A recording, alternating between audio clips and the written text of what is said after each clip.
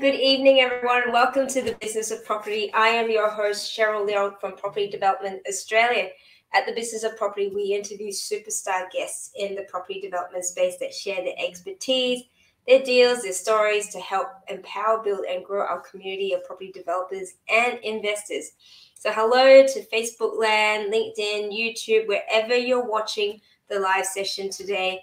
Feel free to hit the comment button, put your hellos in if you're here with us, or if you're watching the re- replay, not we pay, the replay, hashtag replay.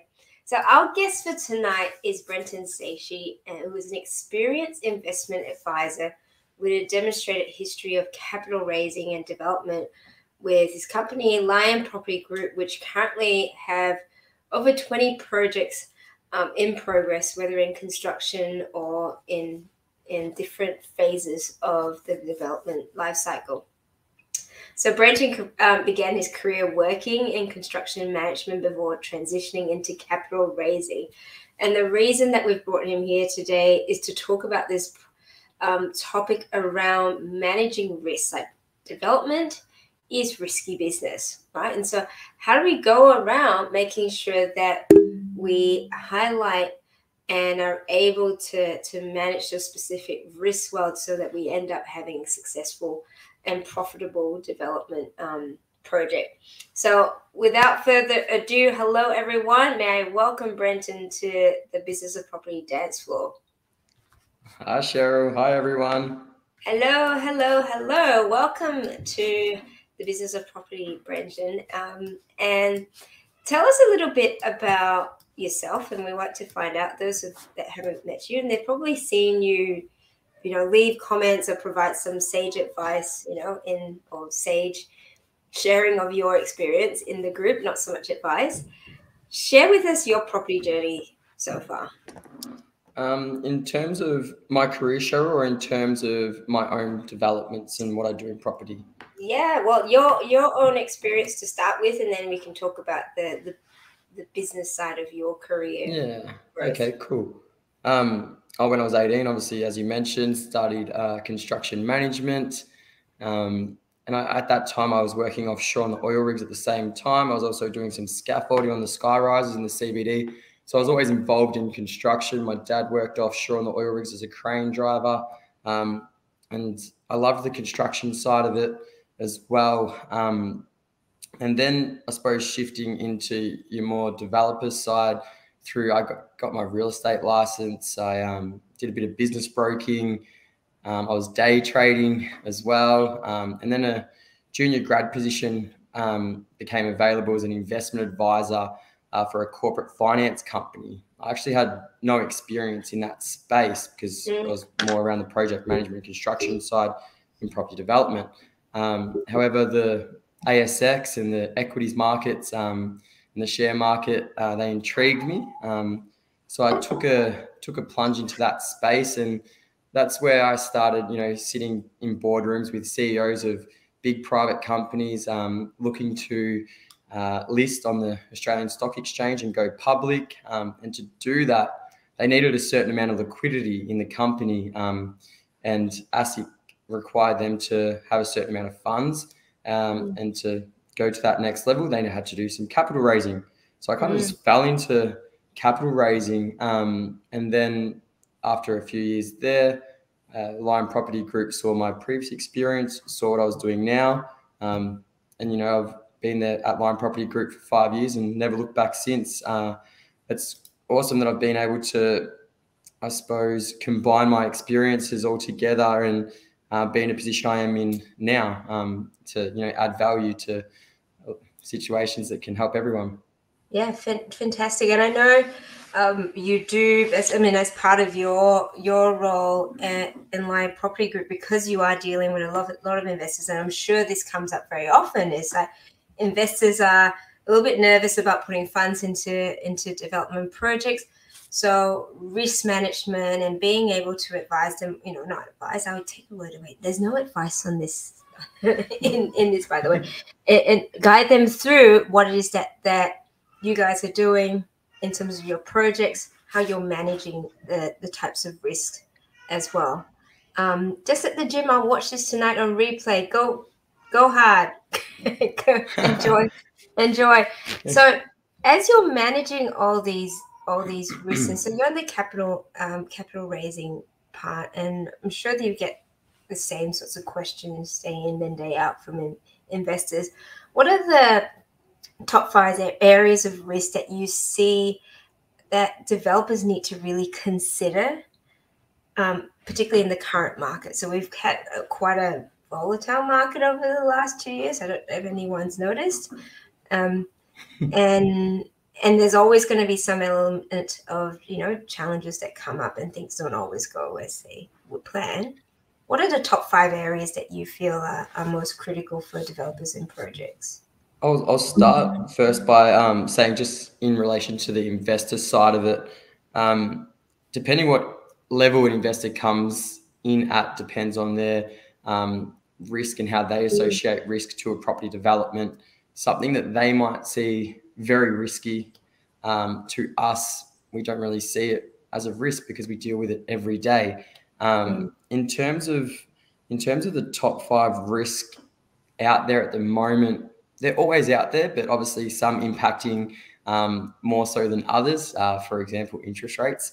Um, but I'll start with in terms of top five, I'd put at the top of that land value. Um, I think as a developer, it's very important that you're conscious about the value of the land that you're about to develop. Uh, yes, interest rates do impact that value, but can you get the highest and best use out of that land and add a significant amount of value to that land to make it all worth it?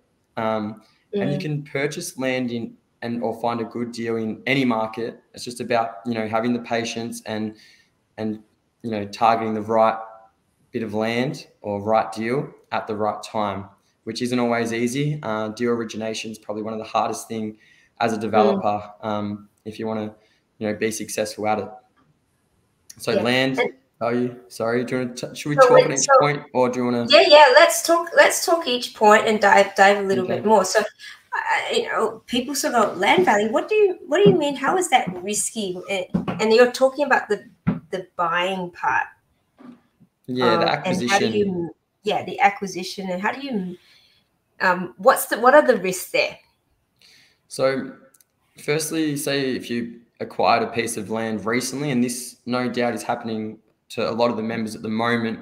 Um, it's happened to me recently, to be honest, where I've acquired a site, um, say five months ago now. In five months ago, in three months, I was about to settle on the site, but the site was no longer to the bank's discretion, no longer the value um, of what I actually acquired the site for. So, for example, I and this is hypothetical. If I purchase a site for six hundred thousand, uh, and you know I can go up to eighty percent, I would need you know twenty percent, one hundred and twenty thousand. However, if the bank now values that site at you know five hundred thousand, that's a whole another one hundred k I'll need on top just to acquire the site. Which you know cash flow is crucial in these um, developments and uh, if you're starting off like that, it can be very, very difficult. Um, or if you acquire a site now and in 12 months' time it goes down, it, it can be it can be very challenging. So you just got to make sure that a site you identify and to mitigate it, the site you identify, make sure you can make highest and best use out of it, and make sure you've got the right consultants to mitigate it further. To make sure you got the right mm-hmm. consultants providing you um, the information you require to ensure that yes, it's worth the risk of going down the path of acquiring the site and you know going to um, council with the proposed plans and and hopefully being yeah. successful obtaining the permits. Yeah, and so this sort of stresses the need to ensure that you do sufficient due diligence yes. as to what's possible, and also, I guess, in terms of your feasibility, uh, ensuring that it's not too tight. Correct, correct. Um, you're not being too optimistic on the sellout or the gross realization value of the property. So what we are going to build and what it's all worth at the end.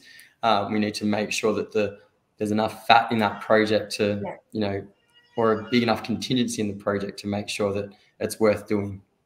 Yeah, absolutely. Okay, so you've got you've got land as that risk. So that's even just at the the very starting point. We haven't even started developing developing it or building Correct. It. We haven't even touched any dirt.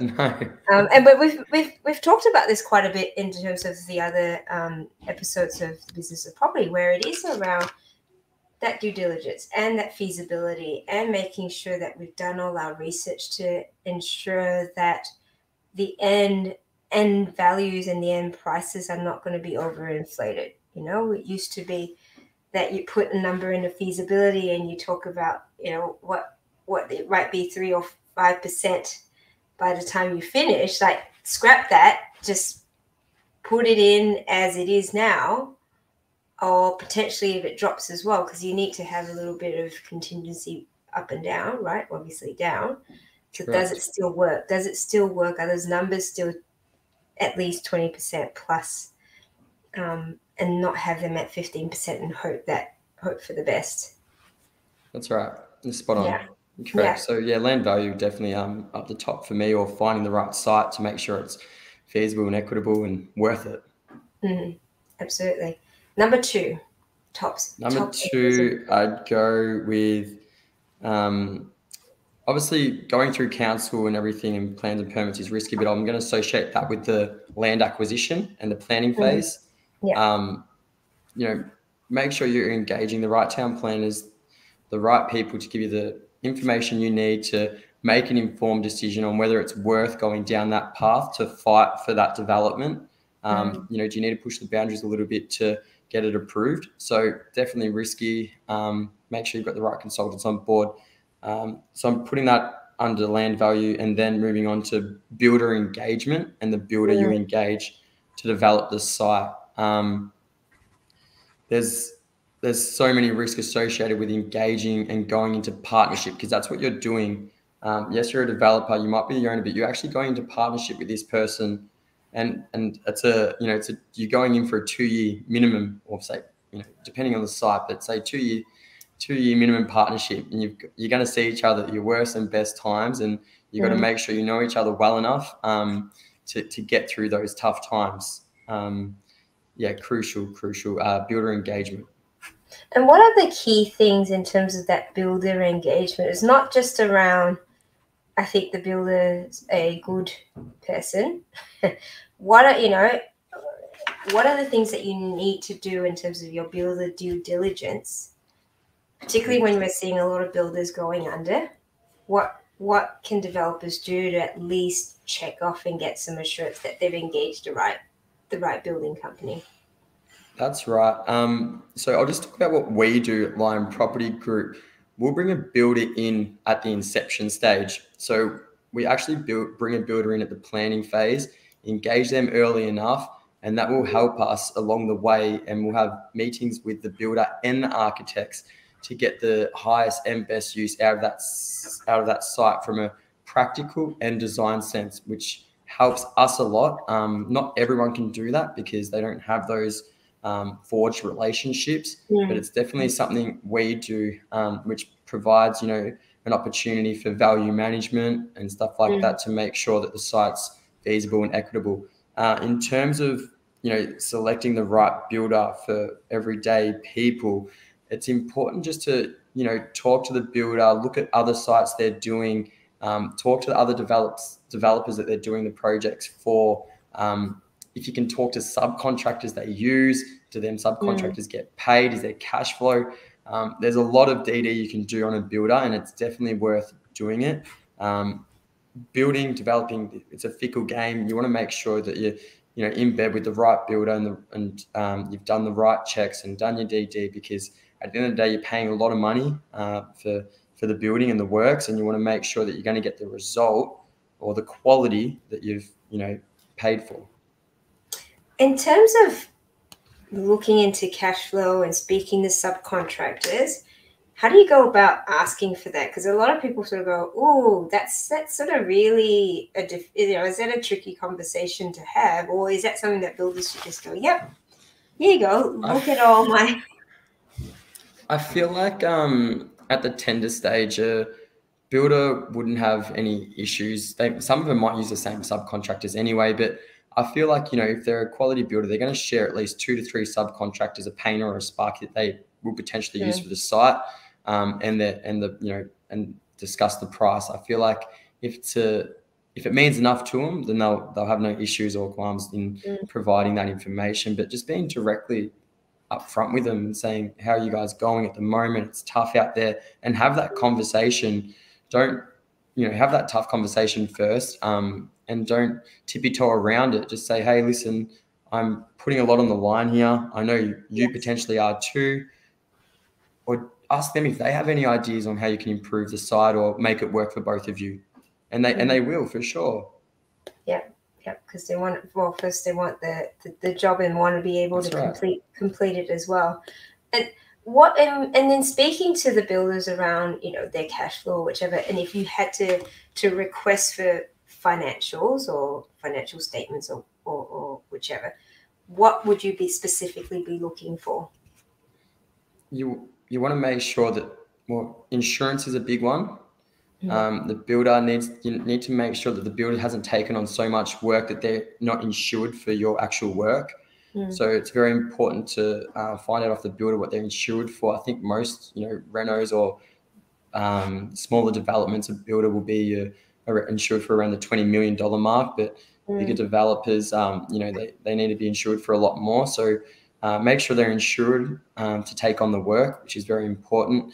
Um, in terms of cash flow you need to make sure they've got funds available to provide uh, to pay the subcontractors. Uh, it's happened to us before where a builder has gone under.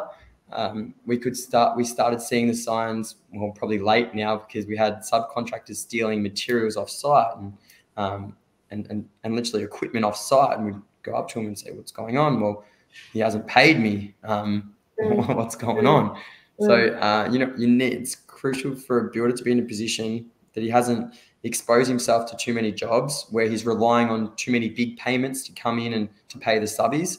Um, that that will help when um, you do ask to speak to a few subcontractors or a few companies that that builder engages and ask, are you guys getting paid, you know, regularly? And if they're yeah. not, then there's an issue. You can highlight that pretty quickly. Yeah, and it's you know particularly now again, guys, when you are going into build contracts and so on, it's not a bad idea to have, be having these conversations. Another good point is to um, go around to some of the sites that the builders are building and check out the activity that's on on site, making sure 100%. there are, are trades there. Have a bit of a chat to them as well if you're allowed to. Uh, just really seeing that there's activity as well. If a builder wants your work, which they should, um, generally, they'll you know they'll be they'll take you around and show you some finishes on different sites they've done, different projects they've done, and yeah, you'll see people on site and just say, "Hey, how you going?" You get a general vibe off them straight away. Yeah, absolutely.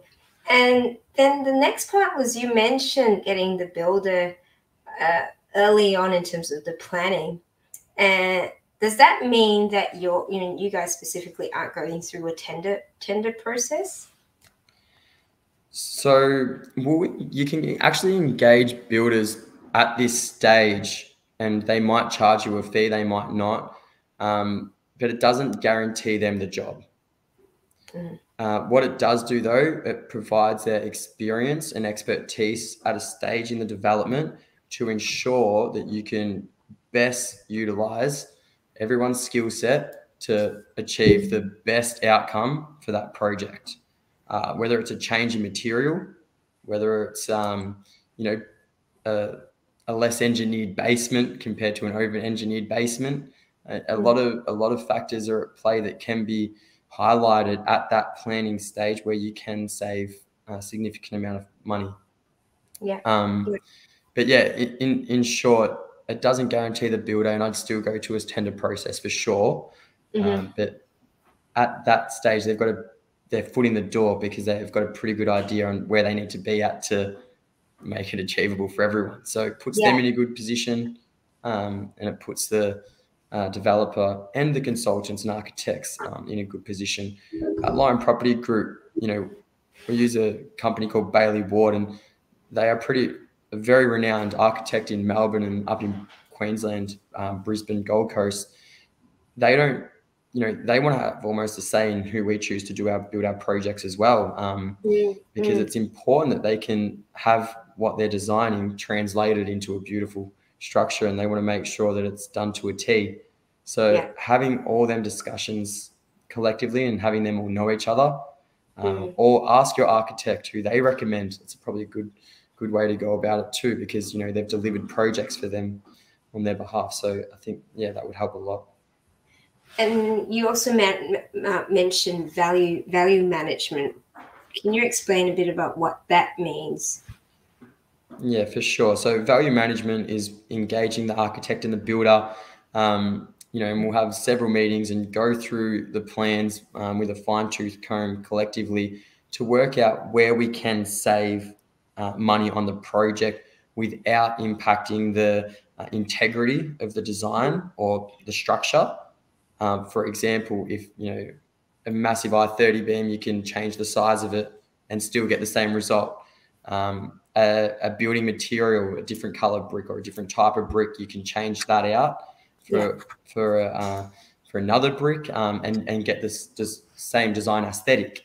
Um, making a pool depth less, you can save a lot of money by not having such a deep pool. Um, okay. Yeah. A, a basement. Um, is it a wet basement or is there alternatives around around that to um, mm. you know help help save you money and as I mentioned, it's important. None of this affects the integrity of the design or the build.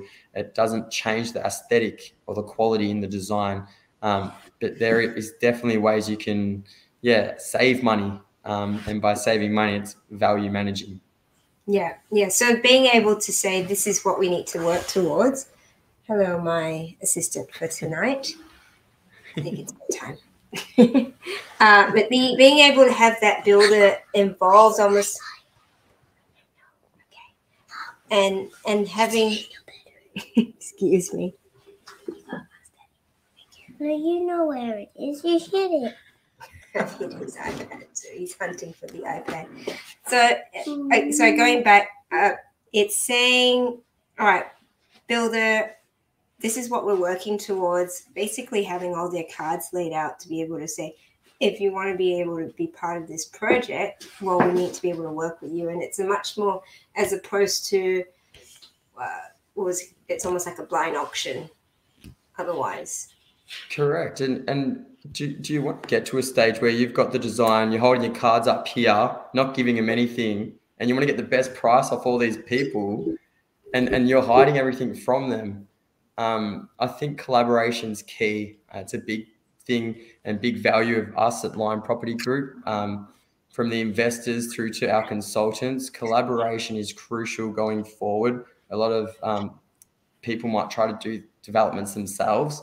If you've got an opportunity yes. to involve the right people and you set out the right structures, collaborate. Mm. Um, it's it's far better. You can achieve a lot more. You can expand a lot more too. So I think yeah. yeah, definitely try try to be open and you you'll find the builder who's you know being a bit dodgy or whatever they'll, they'll, they'll disappear straight away if you're open and honest and mm. you can mm. and they'll show you their other sites and everything we've just spoke about um i think it yeah yeah there's really yeah, really fantastic. good builders out there excellent so engage your builder from the early stages and that's if another possible. part of managing managing your risk in terms of cost and, and all that other other you know, avoiding avoiding variations as much as possible, even from the very beginning.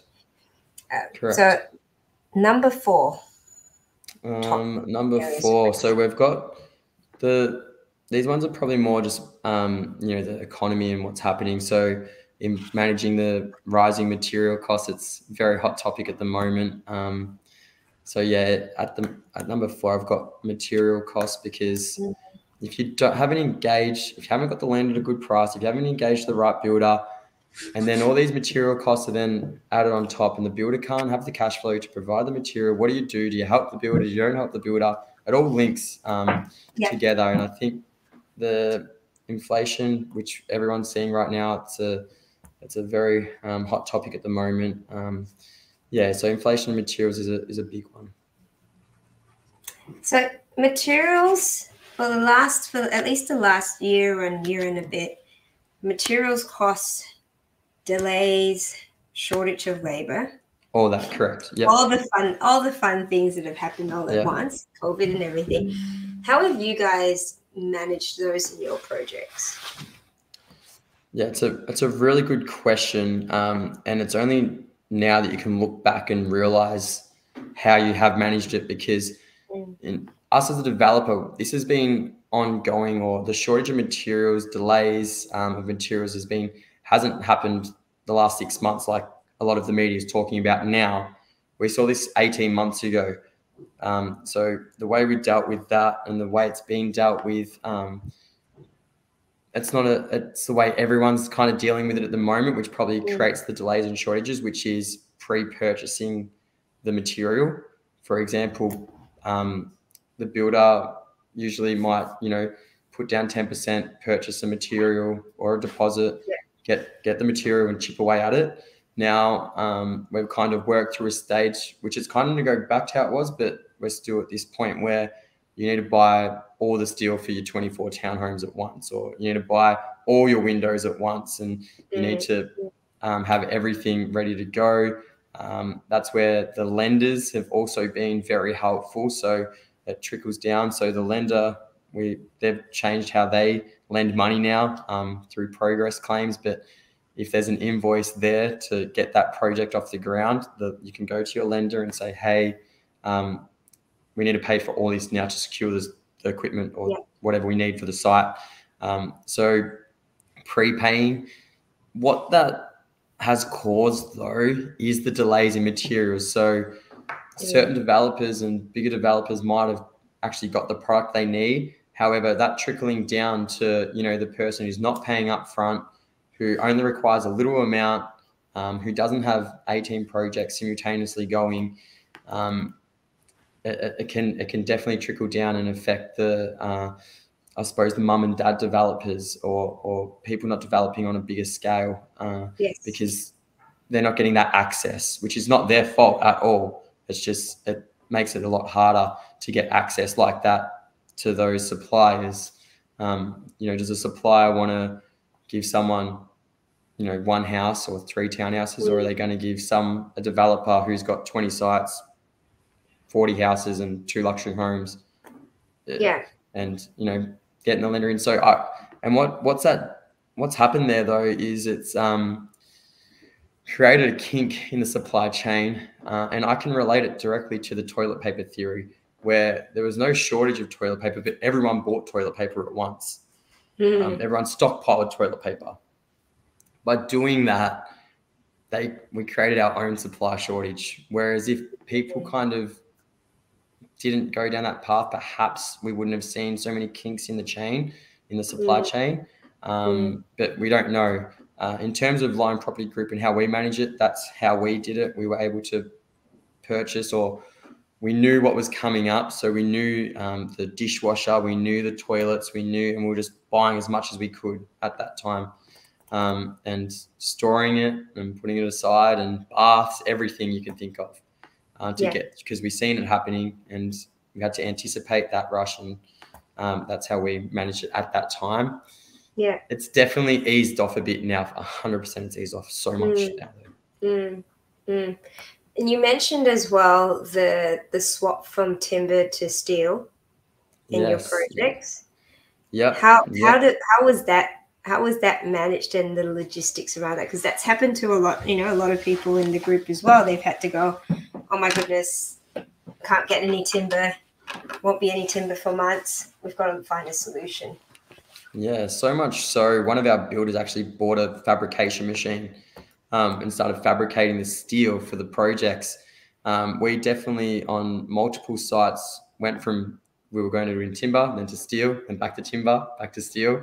Um, what you have to account for that when you're doing that is the foundations on them sites have to have be different or certain integrities depending on what framing um, material you're going to use. So, you know, it was a bit of a stuff around where you've got to get the engineer back in to do the foundation or the engineering for the foundations again because you're changing from timber to steel. It needs to be different integrity um, and stuff like that.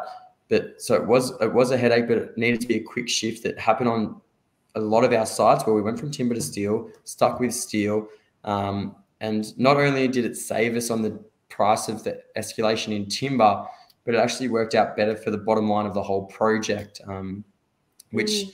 which is fortunate. And before then, we really didn't have many projects that were built out of steel. To be honest, it was majority of it was timber. And so, was that just um, because it's just the way, just the product, yeah, you know, the material you used for the it's what the, the builder, time. yeah, it's what the builder wanted to use. He was happy to use it, and yeah, that's what we did for a long time. Correct. Yeah. yeah. I know. I know. There's a lot of steel out there um, in terms of pre prefabbed homes, and um, mm. you know, a lot of the volume builders smack some steel frames up pretty quickly. Um, mm. but yeah, it's and there's some sites with combination of both now, and yeah, it's it's yeah. amazing how you can adapt and maneuver where you need to be at certain periods in time to make something work and keep that integrity and aesthetic design aesthetic in place. And how quickly were you able to make that shift? Because like I said, you need to go back to engineering and and uh, and all of that. Like in terms of the overall project, if you looked at it and you went, "Oh my goodness, it's going to take," was it weeks? Was it months? To, to be able to weigh a, out whether it was worth going yeah. through that process or not? It's a good question. It was at least a three month process. At this stage, um, this is probably a good 12 to 18 months ago. That stage when this was happening to us or when we started seeing it, builders started quoting your projects out of timber and another builder would quote it out of steel. So you'd actually see the difference in the prices of both. Mm, mm. Um, one builder wanted to do timber, and then we'd suggest, oh, what if we do steel? And then they provide another quote the longer it took, the more price escalation we were seeing. So you had to be pretty quick to lock it down because they might have tended the you know price four weeks ago, but two weeks later it went up bang even more. So yeah, and then we're back to that's what I'm meant by steel, timber, steel, timber. Um, mm. It was a bit of a juggle at one stage, but it was at least three months. If by the time you committed, we almost had to have all the steel, the deposits, and all the steel paid for to know and secure it and then decide, okay, we're going with that. We need to re-engineer the drawings quickly to make them work for steel, and then hit the ground running when it came to, um, yeah, putting it together, the construction. Yeah, fantastic. I mean, the point here is being able to go, all right, we got to go into solution finding mode. timber can't get timber for months. It's, prices have gone up. What's our next best and and in saying that, I mean, I guess the the steel and timber prices have sort of almost evened out. yeah. Oh, yeah. Steel is probably more expensive now. I don't even know, but yeah, it's it's it's crazy.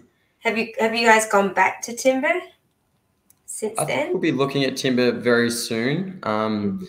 In terms of the where our projects are at, we aren't looking at timber, but there is we are still with steel, but we are seeing a shift in supply um, mm-hmm. catching up now for sure. And that's what yeah. it is. It's just catching up. The the supplies there, the pine trees are there. It's just being able to yeah. get it out to everyone in that yeah, period of time. Absolutely. And finally, in terms of the top areas of risk that you see that developers need to consider. Um, so are we are we at three or four? Four or five? I mean, so I've got interest rates, which is obviously massive. Have we yeah. have we covered interest rates, or is that what we are going? touched on to? interest rates very briefly at the very start in terms of land acquisition. That's right. And and how it would impact the the end product because you've got and consumers sort of buying. With materials delays and inflation, I suppose interest rates are a big part of that, and that's what these are more economic risk. Um, yeah interest rates can uh, uh, you know it's a very it's probably the most hottest topic and i've saved it for last but um, you've got to be mindful of what's happening in the market. Interest rates might affect um, someone purchasing a home and you know that person paying off that home for 30 years. In terms of property development if you're buying the house and you're flipping it you know you can you can make it work still um, if you're operating in the same markets or you're allowing it for your, you know, these hikes now, which everyone should be in their feasibilities. Um, yeah. If you set the interest rates higher and have a bigger contingency for it, you, you should be okay. Um, interest rates in terms of where we were at with private lending and lending, which is we mainly utilize private lending. Um, you generally have a fixed, you know, capitalized interest, so you you know nines to twelve percent, and that's it for the total life cycle of the project. So interest rates for us personally or Lion Property Group or developers aren't massive. Where it can hurt a project is the sales and mm. what product you're bringing to market. For example, are you bringing a $750,000 property to market, multiple, say six to 10, um, and who's purchasing them or investors purchasing them that maybe don't look at interest rates that much, don't mm, require too much capital? Yeah. Yeah. Or is it a first home buyer who's borrowing at 90% LVR? Mm. And are they buying off the plan? If they're buying off the plan and they've got to wait 12 to 18 months, and when they first acquired the site, they might have paid 750 and then it's gone up. The, the values have gone up. They haven't so much so dropped significantly yet. Certain areas have definitely. Um, the values 12 months ago went up um, to now, and you know you're stuck paying, uh, and the bank values like lower, so you're stuck paying a lot more money for that site to get in, and it can be very hard if you're you know 90% leveraged. It can yeah. be tough. That's a really good point you're making in terms of who in the market does generally get impacted by interest rate rises and it will be those who say your first first home buyers. And you know like the luxury home market doesn't particularly tend to really be rattled too much. It doesn't seem. Well you wouldn't you wouldn't want to be um, in the luxury home market and targeting you know the wealthier um, people. Are, are, they relying on the banks in you know in your Toorak's in Melbourne? Um, are, are they relying on you know your five percent differences in money or um, I don't think they're that as leveraged or them suburbs aren't as leveraged as other suburbs. Hmm. Um, it, it, can be it can be quite difficult, but I feel like the it can be a lot harder for first home buyers who've gone fully leveraged at 90%. Mm. The smallest mm. of changes can really impact their savings, their spendings, and and how they make payments. And then they're the ones that are stuck selling the house at a lower rate because they couldn't pay the repayments. Hopefully yeah. not though. We've experienced a lot of growth. I think everyone will be okay. I, the latest interest rate hike was at 2.5%. I don't like having an opinion on it, but um, I feel like it's it, it, was required to go up because interest rates are at the lowest time they've ever been.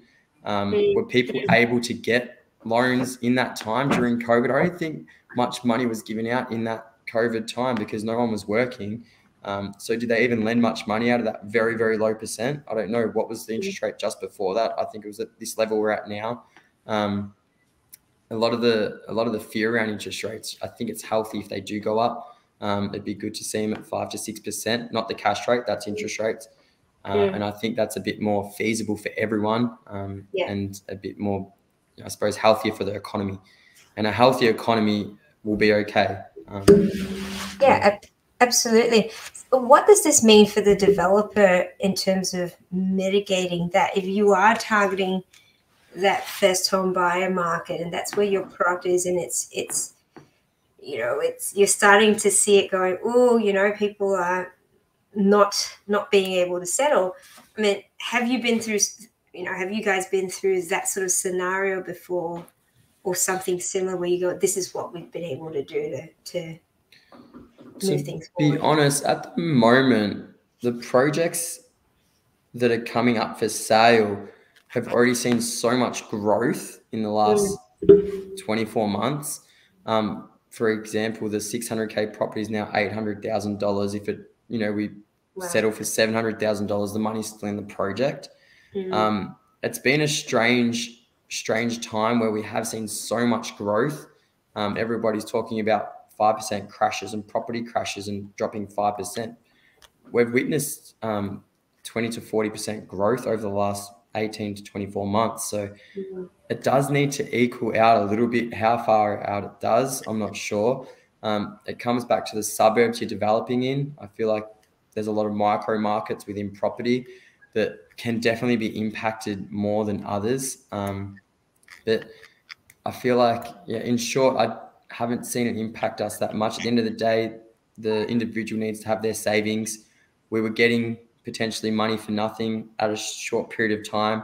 We realized that it's not sustainable. Let's make it achievable. And I feel like people will start saving, putting more away, and making it work as they did prior to COVID. So, yeah, yeah. So I guess that that sort of follows on to my sort of almost like final questions to wrap wrap things up. You know, there's a lot of talk about doom and gloom, and you know we're going to see our next sort of recession. How how are you guys? Here's my little guest again. Yes. Still still looking for still looking for something. Ooh, well, how are you guys doing things? Oh, are you guys doing anything different in terms of your projects going forward? Yeah, so COVID, COVID probably woke the eyes up to um, a lot of things, and at, one stage, it did separate people a lot more and push them away in terms of isolating in our homes. But what it did was, with technology, it brought people a lot closer. Mm. Um, we started working a lot closer with our consultants and valuing those relationships a lot more. Um, yeah. Those relationships, uh, I suppose, maybe forged or got stronger during tough times through COVID. So we're able to help each other here and there and made the relationship stronger. So it brought us closer to our consultants, uh, such as with our builders, as I was discussing earlier uh, in the mm. program. Um, working close with the builders is very integral to the development. Um, and and a team that we work with so they've been through it streamlines the process a lot more. Just there's a lot more um, systematic we're, we're on docusign all the time now. We, we're inking contracts flat out prior to covid. Um, just small things like that and it and it's helped it's helped a, a lot in terms of how we manage staff how we manage consultants how we manage developments. Um, you don't expect things to happen all at once um, or get your knickers in a knot because it's not happening all at once. You can say okay and be probably a bit more diplomatic about scenarios and different different um, challenges arising.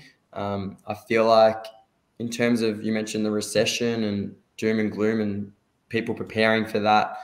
Um, you know, there's there's the economic def- definition of recession, or what is it, two two cycles down or two quarters down, and we're in a recession. Um, how does that affect the property market? I feel like in Australia, now is a good time for people to take advantage of opportunities. Uh, we're 200 we're 200 years young. Um, we have a philosophy at our work that we can control our attitudes, we can control how we visualize stuff, how we see things, and I feel like um, we choose to embrace positivity.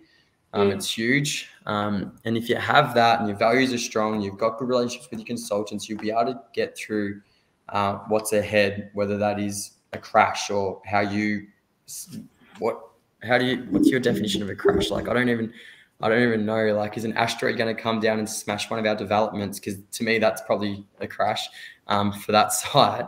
But in terms of um, a market crash or it's you know it goes down it's going to come back up. If you just got to ride out the tough times and i feel like the toughest times through were through covid um, mentally psychology maybe not um, through money but uh, mentally and psychologically, I feel like we were um, almost trained to get through the next tough time, yeah. which looks like it's going to be a more financial battle. Um, but at the end of the day, the government gave out so much money, it created and inflated the market. Interest money was cheap. It needs to get back up. We've got to give that money back some way or another. It might have been good at the time, but it wasn't sustainable. And now we need to work back um, towards that. And that's what we're that's what the government, the RBA is doing now. They're raising interest rates to deal with the inflation and hopefully mm-hmm. get us back on the right track. Yeah, we've got we've got someone here mentioning, uh, it's commenting, recessions provide the best opportunities. Be greedy when others are fearful. Warren uh, Warren Buffett, what a man. Good old um, Warren, so, Warren Buffett. Yeah. And, and we've been through so many cycles. It's, it's, it's another part of the property cycle. And we've seen to when we look at the long term property cycle, right? It's always increased. We've had dips and all of that, but then be able to go, okay, what can we learn from, you know, we had the GFC, we had, you know, all these other really impactful sort of dips in the market, we've been able to recover. And it just means that, you know, the, the reason why we're, we're talking about risk and managing that is that that's what development's about the whole time it's around finding solutions. It's all around managing all the different sorts of risks. Being you know, mindful about the types of projects that you are entering into. If you sort of feel that it's a market where, you know, am I catering to first home buyers? Are they actually the market that can ride out this this this cycle well? Great. If you don't feel they are, then target a different market where you feel are going to be less or a different or a different state or a different yeah, exactly. something. Um, exactly. Perth suffered. Look at Perth. Perth still struggling from the mining boom. Um, did Victoria, did Melbourne, Sydney see that? I don't think so. Um, up in Darwin, Darwin's booming at the moment. Tasmania's going crazy. Um, just broaden your horizons, maybe. I think COVID also did that for us. It helped us look outside the box a little bit more. Um, there's uh, there's opportunities in a booming market. There's opportunities in a recession. There's opportunities everywhere. You've just got to be able to find them. Um, yeah. And I think it's just having having a, a, broad view of all of it and sitting back, having a look, read the play, and then have a crack. But yeah, um, that gentleman or um, whoever left that comment is 100% right. Be fearful when everyone's greedy. Be greedy when everyone's uh, fearful, um, because that's when you get the most growth and where you can catch up time. Absolutely. Sure. That's a great way to, to wrap things up. Brenton, it's been fantastic for those of you who would like to reach out to Brent and have a chat around what they're doing in Lion Property Group, we've got his email out here somewhere. It'll flash across the screen pretty soon. My magic's not quite working as quickly as I'd like. All right, it will come up. Oh, good. it's great, okay. but uh, thank you. I mean, I think we've we've really highlighted uh, some really valuable information here, a lot for us to think about in terms of not just our current projects, but the projects that are coming up. Um, lionproperty.group is the website. Yeah. And that will come on when it does. And in terms of if anyone wants to reach out to you, you're obviously on Facebook, but your email, brenton.s, is that right? At Lion Property. At Lion Yep, property. dot group. So it's all dot, dot group, no dot com, but You'll look us up, find us. Yeah, you'll find us. Um, again, just thanks for having me on the show, Cheryl. Really no, hope um, the members in this group. I love the group. To be honest, I love commenting on people's success stories and people putting progress photos up. Keep up the good work, guys, and we're all, we are all in it together. So um, it's good. And if you can collaborate, definitely collaborate. Absolutely. There's so much to learn from each other. And this is the whole point of this group was to really empower, support, and you know we all share and grow together. Um, Correct. With Australia's not that big, and our community is not that huge, but we all, in some way or form, it can impact each other. So I really appreciate all your share. You've got a podcast as well, so if people want to watch your videos, where do they go to? Uh, not so much a podcast, but I do videos on YouTube channels and just like you know talk about risk and upcoming risk and just stuff that might add value to people at different times instead of just talking about what we do and what we have to offer and our opportunities.